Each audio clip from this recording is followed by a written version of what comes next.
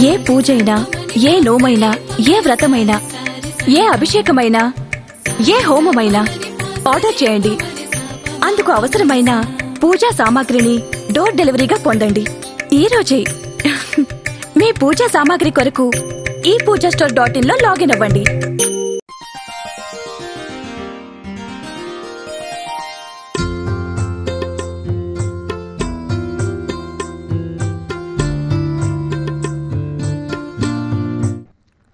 సంజయ్ సింగ్ అనేటువంటి police commissioner ఉన్నారు.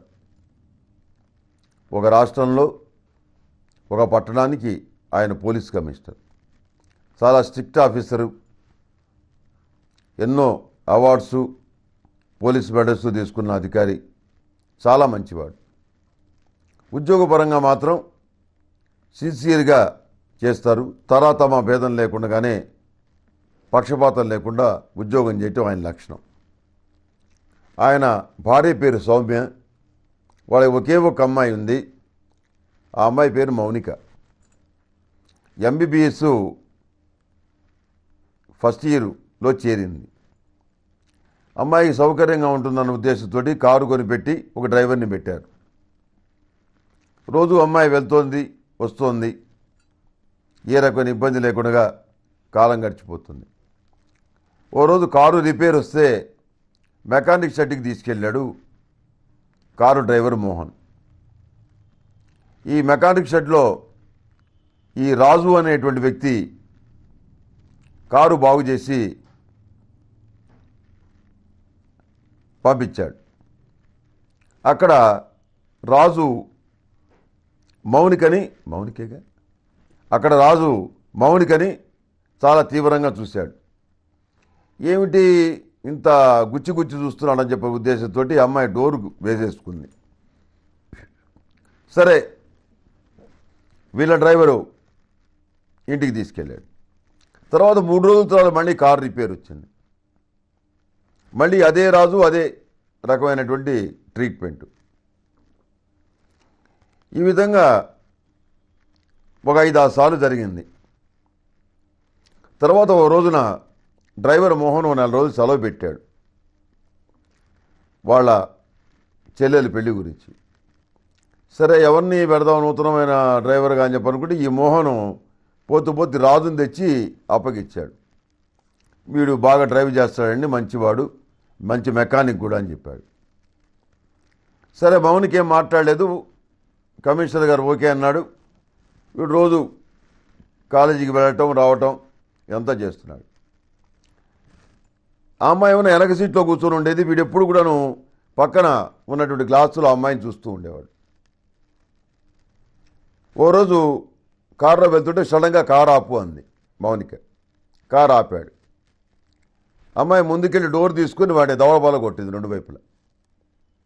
గేటి నా వైపు ఆ విధంగా చూస్తున్నావని నేను నిన్ను ప్రేమిస్తున్నాను అన్నాడు. నువ్వెవరి నన్ను ప్రేమించడానికి నా స్థాయి ఏంటి నీ స్థాయి ఏంటి అన్నాడు.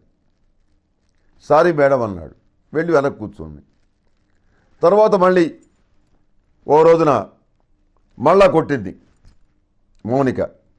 వాడు అదే సమాధానం చెప్పాడు. మీరు చంపేసినాక నేను ఇదే మాట చెప్తాను.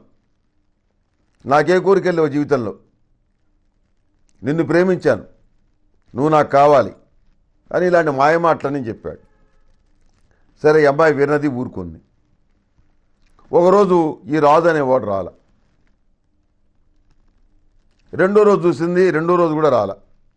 తనే సెల్ఫ్ డ్రైవింగ్ చేసుకుంటూ వెళ్ళింది. వెళ్ళి ఒకరోజు వస్తూ వస్తూ మూడో రోజున మెకానిక్ షెడ్ దగ్గర ఆగి ఈ రాజు ఎందుకు రావట్లేదని చెప్పి అడిగింది. ఏమో జనం వచ్చి ఇంట్లో పడుకున్నట్టున్నాడమ్మా అని చెప్పని కుర్రాన్ని ఇచ్చి వాళ్ళ ఇంటికి పంపించారు. సరే కారు దూరంగా ఆపి రూమ్లోకి వెళ్ళింది. ఆ రూమ్లో ఎటు చూసినా కానీ రక్తంతో మౌనిక మౌనిక అని చెప్పని రాయటం నిన్నే ప్రేమిస్తున్నా నేను నువ్వు లేకనే బతకలేను అట్టాడి పిచ్చి లుళ్ళంతా కూడా వాడు రక్తంతో రూమ్ అంతా రాశాడు అది చూసేటప్పుడు ఒకసారి అమ్మాయి చెలిచిపోయింది. ఏమిటి నేనంటే ఇంత ఎఫెక్షనా అని. సరే కాలక్రమేణా వాళ్ళ యొక్క ప్రేమ చిగురించింది. ఈ వెళ్ళినటువంటి భోహనం రాకుండా ఇంకో పదిహేను రోజులు ఎక్స్ట్రా సెలవు పెట్టాడు. సరే రోజుకి కాలేజీకి వెళ్తున్నారు వస్తున్నారు. ఓ రోజు బీచ్ బోర్డులో కూర్చొని ఏకాంతంగా మాట్లాడుకున్నారు. మన పెళ్ళికి పెద్దవాళ్ళు అట్టాకి ఇష్టపడరు. ఇంట్లో ఉన్నటువంటి డబ్బులు నగలు తీసుకొని వచ్చేసాయి. మనం వేరే చోటికి వెళ్ళి చక్కగా ఉద్యోగం చేసుకుంటూ కారు ఒకటి కొనుక్కొని మన ఇద్దరు ప్రశాంతంగా ఉందామని చెప్పాడు. ఈ రాజు చెప్పిన మాటలు మౌనికి చక్కగా వింది. ఇంట్లో ఉన్నటువంటి డబ్బులు ఈ అమ్మాయి నగలు మొత్తం తీసుకొని ఆటోలో వీడింటికి వచ్చింది. ఇద్దరు కలిసి రైల్వే స్టేషన్కి వెళ్ళారు. సంజయ్ సింగ్ గారికి విపరీతమైనటువంటి కోపం వచ్చింది బీపీ వచ్చింది. ఏంటి అసలు అమ్మాయి అదృశ్యమైంది? ఇంట్లో డబ్బులు లేవు నగలు లేవు ఇటు పోయింది ఎవరితో పోయింది? ఇంతలో మోహన్ వచ్చాడు. ఏమిట్రా అన్న? ఏమో నాకేం తెలుసు అన్నాడు. మొత్తం ఈ మూడు జరిగింది చెప్పంటే చెప్పాడు. వెంటపీడికి సంజయ్ కుమార్కి కమిషనర్కి రాజు మీద అనుమానం వచ్చి మెకానిక్ షెడ్ దగ్గరకు వచ్చి ఎగ్వరి చేశారు. వాళ్ళు ఏమోనండి మాకు తెలియదండి అని చెప్పన్నారు. సరే ఇట్లా కాదని చెప్పి స్టేషన్ పిలిపించి వాళ్ళదైన పద్ధతిలో నాలుగు పీకి అడిగితే ఈ రాజు మీ అమ్మాయిని ప్రేమించాడండి. అంతవరకు మాకు తెలుసు. మేమిద్దరు త్వరలో పెళ్ళి చేసుకుంటామని కూడా చెప్పాడు. వాడు క్వాలిఫికేషన్ ఏంటి అన్నాడు. వాడేం చదువుకోలేదండి మెకానిక్ అండి అని చెప్పాడు. సరే విన్నాడు. ఎన్ని గంటలకి వీళ్ళు వెళ్ళింది ఎన్ని గంటలకి వీ- అక్కడికి వెళ్ళింది మొత్తం మీద ఎంక్వైరీ చేశాడు. తనకు సంబంధించినటువంటి batchmates Vinay Ranjan Ray commissioner of police Bombay city. ఇతను బ్యాచ్మేట్. ఫోన్ చేసి చెప్పాడు ఇది జరిగిన సంగతి నేను అక్కడికి వస్తున్నాను. జాగ్రత్తగా ఇన్వెస్టిగేట్ చేసుకుంటూ వెళ్ళి వెళ్ళి వెళ్ళి వెళ్ళి ఒక చోటికి వెళ్ళి ఆగి ఎంక్వైరీ చేస్తున్నాడు. ఈలోపు ఈ రాజు ఏం చేశాడు? నగలు తీసుకున్నాడు డబ్బులు తీసుకున్నాడు నేను అది కొంటాను ఇది కొంటాను వ్యాపారం కొంటాన్ని తీరా ఈ అమ్మాయిని తీసుకెళ్ళి బాంబే రెడ్ లైట్ ఏరియాలో ఒక బ్రోతల హౌస్కి ఐదు లక్షలకు అమ్మేశాడు వాళ్ళు ఐదు లక్షలకు కానీ రెండు లక్షలే ఇచ్చి మూడు లక్షలు ఇస్తాం కూర్చో అని చెప్పని అన్నారు. నాలుగు రోజులు పట్టచ్చు వారం పట్టచ్చు అని. సరే వీడు జల్సాగా తాగుతున్నాడు. ఈ అమ్మాయి ఏడుస్తోంది మౌనిక. నన్ను ఇంత పని చేస్తావా అని.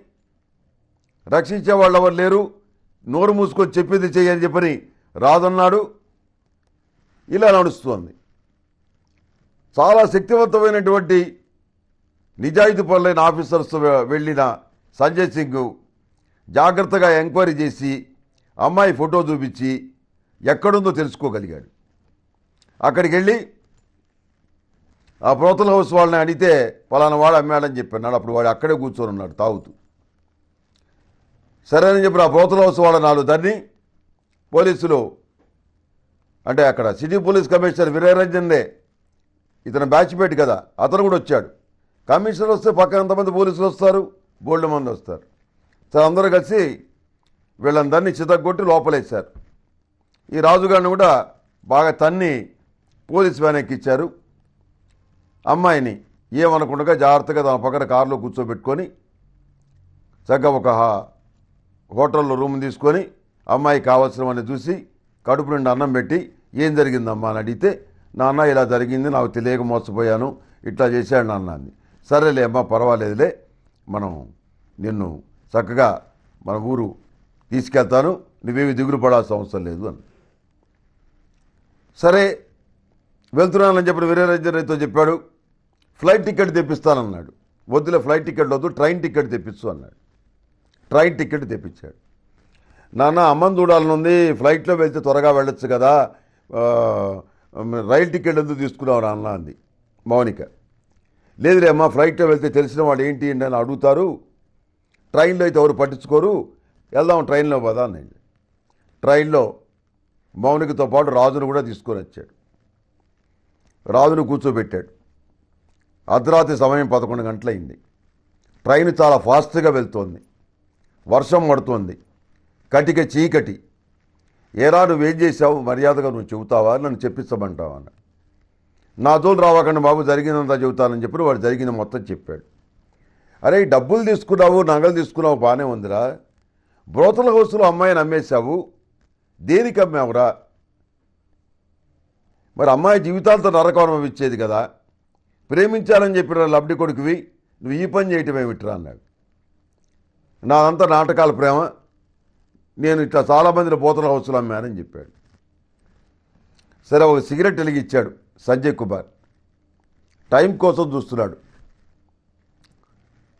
పదవి లేచి వెళ్దాం అన్నాడు. సరే తీసుకొని వెళ్ళి ట్రైనుకి సంబంధించినటువంటి తలుపు ఏదైతే ఉందో ఆ తలుపు దగ్గర నిలబడ్డాడు. పక్కనే రాజుని నిలబెట్టాడు.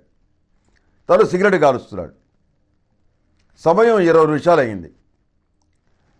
ట్రైన్ ఒక బ్రిడ్జి మీదుగా పోతున్నటువంటి సౌండ్ వచ్చింది. కింద అగాధమైనటువంటి నది చింబ చీకటి వెలకరించిన అడుగు మీద ఒక్క తలు తన్నాడు రాజుని సంజయ్ కుమార్.